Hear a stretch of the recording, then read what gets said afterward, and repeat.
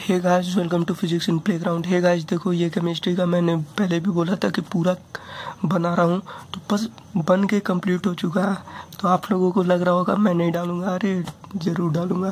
Physics का भी है मेरे पास। तो फिजिक्स का भी आप लोगों को वेडनेसडे मिल जाएगा। देखो इलेक्ट्रोस्टेटिक्स हो गया है और कुछ कुछ चैप्टर बाकी है। ठीक है? और क्या डाल रहा हूँ, ये बता दे रहा हूँ। प्रीवियस ईयर के जितने भी, समझो कि पेपर उठ करके पैंतालीस क्वेश्चन में से फोर्टी फाइव क्वेश्चन में से जो मैं दूँगा केमिस्ट्री का thirty five question as it is इसमें से आएँगे, ठीक है? और बाकी जो आएगा कॉन्सेप्ट एज इट इज़ आ जाएँगे। मतलब एकदम सिमिलर कोऑर्डिनेशन कंपाउंड में अगर किस्मत हमारा सही रहा तो जो मैं यहाँ पे जिसका ऑक्सीडेशन नंबर या जिसका कलर निकालूँगा या जिसका पैरामैग्नेटिक डायमैग्नेटिक या जो भी निकालूँगा एज इट इज़ वो उठ करके आने की संभावना है, ठीक है? पैंतीस क्वेश्चन एकदम कंफर्म रखो। बाकी का दस क्वेश्चन दस क्वेश्चन तो नहीं बोलूँगा, पाँच क्वेश्चन पाँच तो भाई यार लेवल तो मतलब कुछ कंपटीशन नाम है, ठीक है? ऐसा नहीं कि पूरा का पूरा तब कंपटीशन की चीज़ का तो पाँच क्वेश्चन वो नया बनाएँगे ही बनाएँगे खुद का। उस पर कोई ये नहीं है, ठीक है? पाँच क्वेश्चन खुद का बनाएँगे नेमिंग रिएक्शन से ही कुछ नया बनाएँगे, कुछ भी दे सकते हैं। तो नेमिंग रिएक्शन मैंने पूरा दे दिया तो उस नेमिंग रिएक्शन को पढ़ लेना अच्छे तरीक़ा से। अब पैंतीस क्वेश्चन डायरेक्ट हो जाएगा। एकदम टेंशन नहीं लेना। पूरा का पूरा प्रीवियस ईयर इस तरीका से इसमें बना है क्वेश्चंस फंस जाएँगे। हंड्रेड परसेंट फंस जाएगा क्वेश्चन जिस तरीका से ये बना। और ये सीरियसली है। मतलब सीरियस स्टूडेंट के लिए है तो इसका मिसयूज ना हो। ठीक ना बहुत मेहनत लगा है इसको करने में। तो इसका गलत दुरुपयोग ना किया जाए। बहुत किया जाता है, क्योंकि ये कहाँ जा रहा है, कहाँ नहीं, मुझे नहीं मालूम। तो ये कुछ स्टूडेंट के लिए, जो कि मतलब सीरियसली बता रहा हूँ, कुछ स्टूडेंट के लिए। तो इसलिए मैं पूरा पीडीएफ नहीं दूँगा। एक एक क्वेश्चन समझा दूँगा कि आयोनिक रेडियाई का कहानी क्या है। तो ionic radii is directly proportional to anion ठीक ना? मतलब नेगेटिव चार्ज जहाँ पे ज़्यादा बढ़ जाएगा। वहाँ पे आयोनिक रेडियाई दे देना। और जहाँ पे आप लोगों का किटायन का चार्ज होगा मतलब पॉजिटिव चार्ज जहाँ ज़्यादा होगा, वो सबसे कम होगा आयोनिक रेडियाई जेई मेंस 2017 का पेपर उठा करके देख लो। जेई मेंस 2017 का पेपर बता रहा हूँ मैं। मतलब दो साल हो गया आज से के डेट में, और जेई मेंस ठीक ना? क्वेश्चन आया हुआ है, और ये क्वेश्चन है नीट 2003 का। तीन या चार? तीन का नीट 2003 का। तो तीन से उठा करके सत्रह में पूछा गया तो देखो कॉन्सेप्ट कोई नहीं बदल सकता। क्वेश्चन टू कॉपी नहीं है क्वेश्चन चेंज है, पर कॉन्सेप्ट कोई नहीं बदल सकता। तो ये हो गया कॉन्सेप्ट यहाँ से हम लोग कॉन्सेप्ट सीख लिए कि नेगेटिव चार्ज जहाँ पे ज़्यादा होगा, वहाँ पे आयनिक रेडिया दे देंगे। मैं लिख के देता हूँ नाइन्टी परसेंट चांस है कि ये नीट 2019 में आएगा। Proto proto ionic protonic proto ionic नहीं प्रोटोनिक एसिड किसे बोलते हैं? तो ये प्रोटोनिक एसिड का भी चांस है, क्या होता है, क्या नहीं होता आने का। क्या चीज़ होता है, ठीक है? सिग्मा बॉन्ड, पाई बॉन्ड छोटी छोटी चीज़ें हैं जो कि बहुत स्टूडेंट स्किप कर देते हैं। सिग्मा बॉन्ड, पाई बॉन्ड में अगर किसी अभी पूछ दिया जाए किसी से तो एक आध डिफरेंस बिटवीन नहीं बता पाएँगे, क्योंकि उतना रिवाइज नहीं कर पाते ना। तो ये देखो, ये क्या होगा कि छोटा छोटा चीज़ भी पढ़ लीजिए और छोटा छोटा ही चीज़ आता है नीट में। पर उसको ऐसा ट्रिकी बनाया जाता है पकड़ना बहुत मुश्किल हो जाता। है जैसे फिजिक्स है फिजिक्स का ये ब्लू देख लो। लिख लो इस ब्लू को। और जिस दिन एग्ज़ाम होगा ना, उस दिन बात करना। बता दे रहा हूँ, इधर एक कम है काइनामेटिक्स काइनामेटिक्स से दो क्वेश्चन दो से तीन क्वेश्चन मैं बोल रहा हूँ काइनामेटिक्स तो वो काइनामेटिक्स में ऐड कर लेना। ठीक है? ठीक है? और वही होगा। सैतालीस फोर्टी सेवन का है ब्लू प्रिंट फोर्टी सेवन या फोर्टी सिक्स या फोर्टी फोर्टी सिक्स या फोर्टी सेवन क्वेश्चन का ब्लू प्रिंट है। टू कॉपी यही आएगा, एक, दो, कहीं से कम होगा। ठीक ना? मतलब कहीं से एक आध क्वेश्चन कम हो जाएगा। एस एच एम वेब से चार की जगह तीन पूछ लेगा हाइड्रोडाइनमिक्स में दो की जगह तीन पूछ लेगा। कुछ ऐसा होगा, बाकी मैक्सिमम सेम रहेगा ब्लू तो इसमें सारा कुछ हो गया, सिर्फ़ प्रीवियस ईयर को थोड़ा सा मुझे एनालाइज करना है, और उसके बाद वो भी मैं बता दूँगा। मैग्नेटिक से एक क्वेश्चन मैं बताता हूँ अभी, जो कि आने की संभावना है। एक आप लोगों को रेडियस पे है M V square by R equal to Q V B ठीक है, यहाँ से वेलोसिटी वेलोसिटी काटे R equal to M V by Q B तो R is directly proportional to क्या हो गया मास और इन्वर्सली प्रोपोर्शनल टू चार्ज तो इस पे क्वेश्चन आने की संभावना संभावना है। प्रोटोन ड्यूट्रॉन न्यूट्रॉन न्यूट्रॉन में भी दे दे, पर नीट है नीट को मद्देनजर रख के न्यूट्रॉन नहीं देगा इलेक्ट्रॉन दे देगा, ठीक है? तो इसका देख लेना मास, कोई बुराई नहीं है। जेई मेंस 2018 में पूछा जेई मेंस 2018 में पूछा तो इतना सामने का ये क्वेश्चन है तो कोई दिक्कत नहीं यार एग्जामिनर एक ही है।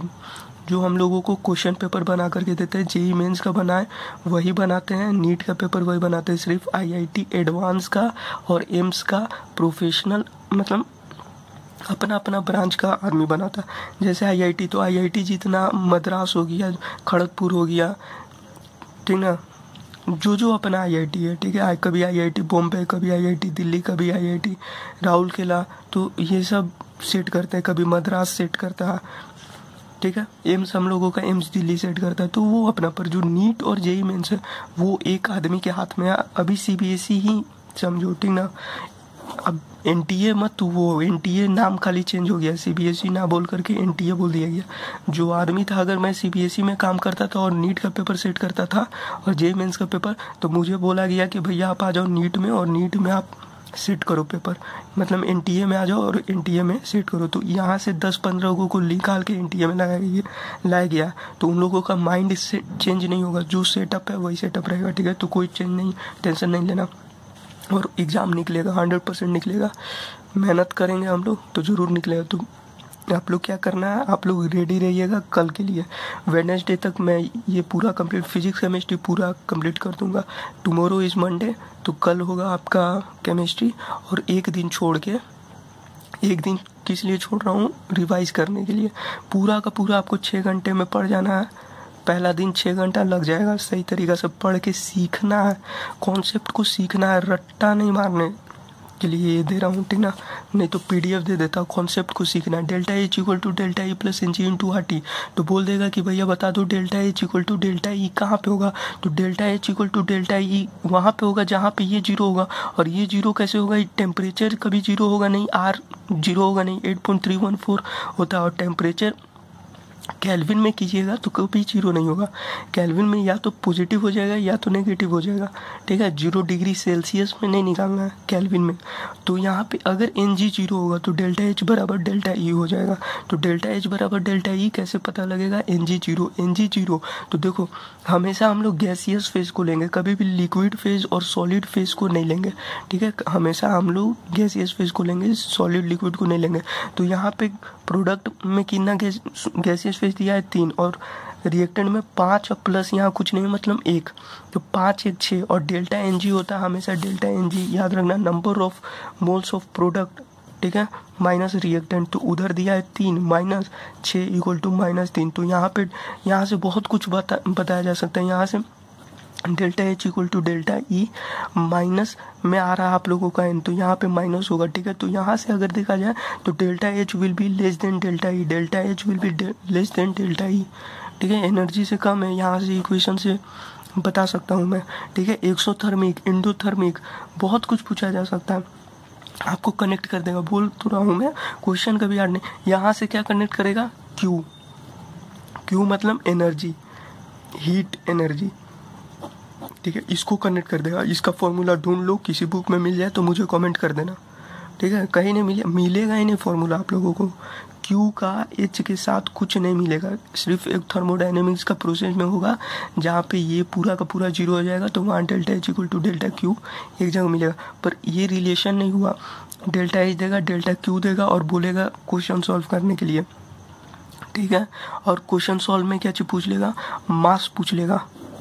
मास बता रहा हूँ, मास पूछ लेगा बोलेगा कि कोई एक ऐसा जैसा रिएक्शन है, वैसा रिएक्शन दे देगा और इसमें से बोल देगा कि इसका डेल्टा एच इतना हो रहा है हीट ऑफ़ फॉर्मेशन इतना है या इंथेल्पी इतना है। इंथेल्पी बोलते हैं तो इंथेल्पी इतना है। और बोलेगा कि इस काम करने में या रिएक्शन करने में इतना आप लोगों का हीट प्रोड्यूस हो रहा है। इंथेल्पी दे दिया हीट प्रोड्यूस हो रहा है और बोल देगा कि हमारा सी कितना प्रोड्यूस होगा। उसका मास बता दो। अमाउंट कितना होगा? इनिशियली सी ओ टू इतना था या इनिशियली ओ टू इतना था? ठीक है? फाइनली बता दो क्या होगा? तो इस तरीके से किसी बुक में मिल जाए तो आप बता देना मुझे। नहीं मिलेगा किसी बुक में, वहाँ रिलेशन फाइंड करना पड़ेगा आपको। वो बन, दिमाग से बनेगा, ठीक है? रटना कभी मत। जो फिजिक्स इन प्लेग्राउंड नाम ही है फिजिक्स तो रटना कभी मत। समझ के पढ़ो ना यार। पैंतीस क्वेश्चन आराम से होगा इधर। समझ के पढ़ोगे तो मैं बोलता हूँ फोर्टी क्वेश्चन आराम से होगा, एकदम आग बंद करके होगा कॉन्फिडेंस लेवल हाई रखो।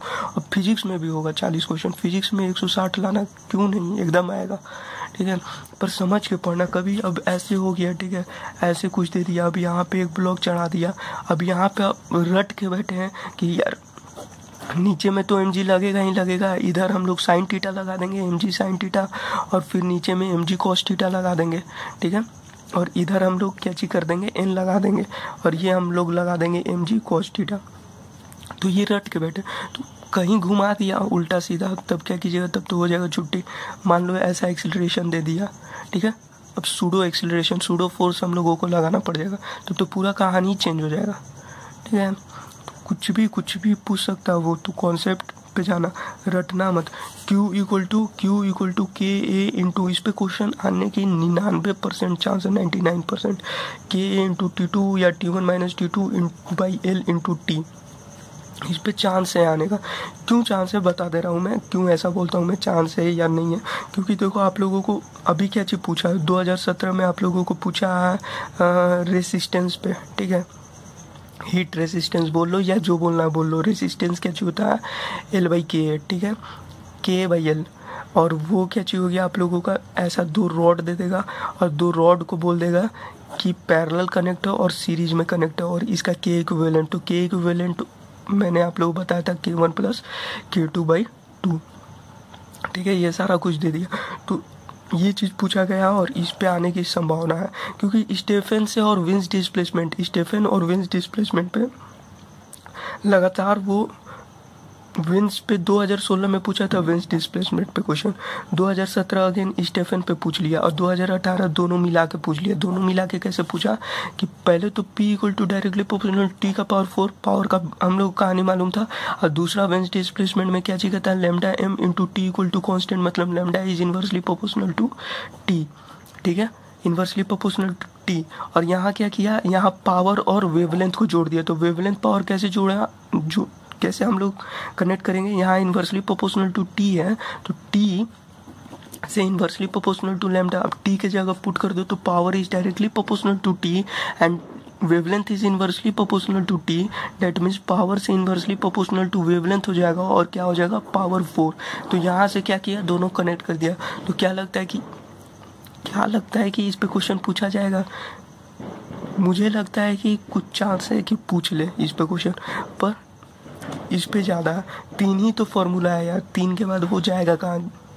बचने का कोई रास्ता ही नहीं। अब ऐसा नहीं कि कोई चमत्कार करके कुछ भी नहीं हो, वैसा नहीं होता। बहुत सोच समझ के सेट किया जाता है पेपर, ठीक है? और बताता हूँ आप लोगों को और एक question V R M S पे एक क्वेश्चन आता है ठीक है? रूट मिनी स्क्वायर वेलोसिटी इस पे आने का संभावना है 2016 में पूछा है, पेपर उठा करके देख लेना। मैंने करवाया भी है, ठीक है? फिर 2017 में नहीं पूछा वी आर एम एस से। 2017 में नहीं पूछा, फिर 2018 में पूछा वी आर एम एस पे क्वेश्चन ठीक है? तो इस साल वी आर एम एस पे क्वेश्चन नहीं आएगा, पर कुछ संभावना है, वो क्या पूछ सकता है? V R M S velocity most probable velocity और मीन वेलोसिटी ठीक है? मोस्ट प्रोबेबल मीन वेलोसिटी और रूट मीन स्क्वायर वेलोसिटी में रिलेशन पूछ लेगा। कौन बड़ा है, कौन छोटा है? या root mean square velocity V R M S को कनेक्ट कर देगा स्पीड ऑफ़ साउंड के साथ, ठीक है? स्पीड ऑफ़ साउंड के साथ कनेक्ट करके एक क्वेश्चन बना देगा। कनेक्शन बैठाना डायरेक्ट लड्डू नहीं थमाएगा। लो भैया, लड्डू खा लो, ठीक है? कनेक्शन बैठा करके करना। एक से एक थर्मोडाइनमिक्स पूरा कनेक्शन है, ठीक है? पूरा का पूरा थर्मोडाइनमिक्स में एक क्वेश्चन यही ना पूछा था ऐसे करके तो वो कनेक्शन बैठा करके ही बनेगा, ठीक है? समझ में आ रहा है? वहाँ दो फार्मूला लगता दो फार्मूला लग करके रेशियो करना था। होता क्या चीज़ कि Q इक्वल टू होता हम लोग क्या चीज़ mu C V into delta T पर एट कॉन्स्टेंट प्रेशर दिया था। प्रेशर कॉन्स्टेंट दिया था तो C P into delta T और मोनो एटोमिक गैस के लिए C P equal to five by two clear है? सी पी सी वी कैसे निकालते हैं? सारा कुछ बता दिया है। तो mu into five by two into delta T ठीक है? अब यहाँ तो हो गया फाइव बाई टू आर ठीक है five by two R R मैंने मिस कर दिया। C P equal to five by two R अब यहाँ से क्या कर सकता हूँ मैं? यहाँ से देखो पी वी इक्वल टू क्या चाहिए होता है? म्यू इंटू आर टी तो इसे मैं क्या P by two into P लिख सकता हूँ? हो गया पी और इंटू वी ठीक है? अब वर्क होता है तो work equal to P V होता है। ठीक है? तो बाटा पीवी ठीक है? वर्क और क्यू में दो में रिलेशन तो पीवी लिख दिया। अब यहाँ से कट करो ना यार और निकाल लो आंसर या वर्क को P V equal to mu R T लिख दो म्यू आर टी इसको रहने दो और यहाँ म्यू आर टी पुट कर लो और निकाल लो। ठीक है? तो कनेक्शन बैठाना पड़ेगा। वो तभी होगा तब पूरा पढ़े होंगे तब। ठीक है? कॉन्सेप्ट जो दिमाग लगाता है कॉन्सेप्ट वहाँ पे। अब यहाँ एक चीज़ आपको बताना था। ये देखो, ये बताया था आइसोथर्मल बोलते हैं, इसे एडियाबेटिक बेटिक बोलते हैं, एडिया बेटिक। तो देखो, ये सब कोई पढ़ के जाएगा, ये कोई बड़ी बात नहीं है, सब कोई पढ़ के जाएगा ये चीज़ मतलब जो पढ़ने वाले हैं। पर वो क्या करेगा एग्जामिनर बहुत चतुर, हाथ से ज़्यादा तेज है वो। वो क्या करेगा, एडिया बेटिक एडियाबेटिक आइसोथर्मल जो भी होता है आइसोबारिक आइसोकोरिक हटा देगा। डायरेक्ट बोल देगा polyatomic monoatomic diatomic gamma का वैल्यू दे देगा। Gamma equal to C P by C V ठीक है? वो वैल्यू दे देगा और बोलेगा कि बताओ कौन सा गामा का, किसका वैल्यू ये है, किसका वन पॉइंट थ्री थ्री किसका वन पॉइंट फोर है, किसका वन पॉइंट सिक्स सेवन है, या कौन मोनो एटोमिक कौन डाई एटोमिक कौन पोली एटोमिक मोनो एटोमिक का सी पी और सी पी आप लोगों को आना चाहिए तो कुछ भी पूछ सकता वो। तो ऐसा दे देगा और बोलेगा, बताओ, तब तो वहाँ हो जाएगा प्रॉब्लम ठीक है? क्यों क्योंकि ये समझ में ही नहीं ना आएगा। जिसको रटा रटाया समझा समझाया उसके लिए इजी है। पर डायरेक्ट वहाँ पे देख के वहाँ पे नहीं। ठीक ना रॉकेट साइंस कुछ है नहीं, ये डायरेक्ट चीज़ है। एक बार देखना है पढ़ना है काम खत्म। बाकी और कुछ इसमें किया नहीं जा सकता, जिसको मालूम होगा, बोलते हैं, इसको ये वही बता पाएगा। ठीक है?